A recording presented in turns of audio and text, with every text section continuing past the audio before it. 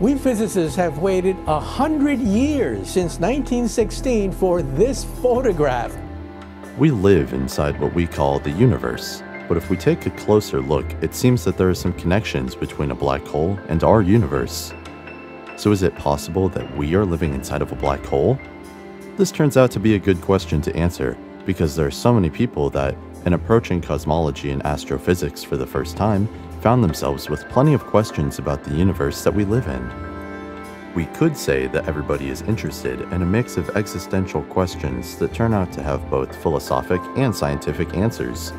This happens because we're humans and we stay up all night asking questions. One could drive himself nuts asking questions like that. But don't worry, we're here for you, trying to help you at least. Have the universe and a black hole have anything in common? They seem so different, but are they?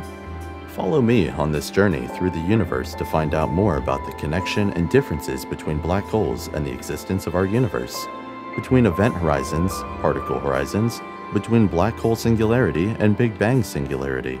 A black hole cosmology, also called Schwarzschild cosmology or black hole cosmological model, is a cosmological model in which the observable universe is in the interior of a black hole.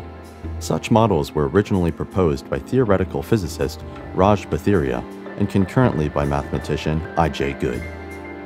Any such model requires that the Hubble radius of the observable universe be equal to its Schwarzschild radius, that is, the product of its mass and the Schwarzschild proportionality constant. This is indeed known to be nearly the case. However, most cosmologists consider this close match a coincidence. But let's take a step back and consider some connections between a black hole and our universe. The first coincidence mass of the universe and size of a black hole. There is this coincidence when we're looking at the universe and we're comparing the universe to a black hole. We look at the universe and say, if there was a black hole the size of this universe, how much mass would the black hole need to be the mass of the universe? It's a really simple equation. You plug it into Schrodinger's equations, and then you get the mass of the universe. This is a little bit interesting. If you plug in the mass of the universe into the black hole equations, you get the size of the universe.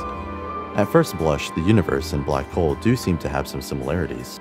The second coincidence, event horizon and particle horizon. The event horizon boundary marks the limits of a black hole. At the event horizon, the escape velocity is equal to the speed of light. Since general relativity states that nothing can travel faster than the speed of light, Nothing inside the event horizon can ever cross the boundary and escape beyond it, including light. Thus, nothing that enters a black hole can get out, or can be observed from outside of the event horizon. The particle horizon, also called the cosmological horizon or the cosmic light horizon, is the maximum distance from which light from particles could have traveled to the observer in the age of the universe. It represents the boundary between the observable and the unobservable regions of the universe so its distance at the present epoch defines the size of the observable universe. Due to the expansion of the universe, however, it is not simply the age of the universe times the speed of light, as in the Hubble horizon, but rather the speed of light multiplied by the conformal time. The existence, properties, and significance of a cosmological horizon depend on the particular cosmological model used.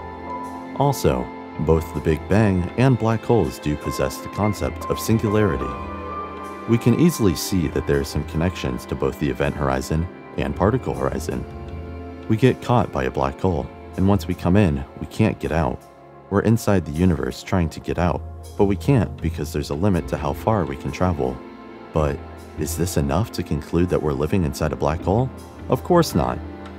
Let's go on and try to have a discussion on differences between a black hole and a universe. The first difference being the black hole singularity is actually different from the Big Bang singularity. In the center of a black hole is a gravitational singularity, a one-dimensional point which contains a huge mass in an infinitely small space, where density and gravity become infinite and space-time curves infinitely, and where the laws of physics as we know them cease to operate. As the eminent American physicist Kip Thorne described it, it is the point where all laws of physics break down. Current theory suggests that as an object falls into a black hole and approaches the singularity at the center, it'll become stretched out, or spaghettified, due to the increasing differential and gravitational attraction on different parts of it. before presumably losing dimensionality completely and disappearing irreversibly into singularity. An observer watching from a safe distance outside, though, would have a different view of the event. According to the relativity theory, they would see the object moving slower and slower as it approaches the black hole, until it comes to a complete halt at the event horizon, never actually falling into the black hole. Instead, the Big Bang singularity, or the initial singularity, is one that predicts by some models of the Big Bang Theory to have existed before the Big Bang, and thought to have contained all the energy and spacetime of the universe. The instant immediately following the initial singularity is part of the Planck epoch, the earliest period of time in the history of the universe. Black hole singularity is just a piece of spacetime embedded inside of a larger universe. While the Big Bang singularity is the whole universe, it's where it all started. The second difference, when it comes to the event horizon, we can say that a black hole's event horizon, it's like a bubble, embedded against a larger universe, and once you get in, you can't go out. Whereas in the universe, no matter where you go, you're already inside the bubble. The third difference being, furthermore, a black hole singularity is something that lies in the future. If you entered a black hole, no matter where you move and how much you strive to get out, you'll be led into the singularity, You'll always end up in that singularity. It's always in the future. Instead, the Big Bang singularity is something that happened in the past. If you go in back into the past, you will realize that you can't avoid that singularity, but if you go into the future, you can move everywhere you want, in any direction, without ending up in that singularity. So, it seems we've learned something more. But it still isn't enough. In fact, it seems that we have added some new stuff, without ending up to a satisfying conclusion our question is still unanswered. We learned that there are connections between black holes in our universe, but we also learned that there are some substantial differences. So what's the truth?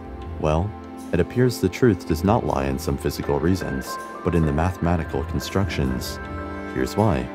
We look at our reality, at our universe, through the eyes of Einstein's relativity. The fact that if you look at the universe and kind of play this pretend game that it's a black hole, it's just a coincidence. It is the result of the fact that we are using the same equations to describe both our universe and black holes. We describe both of them using the general relativity theory set of equations.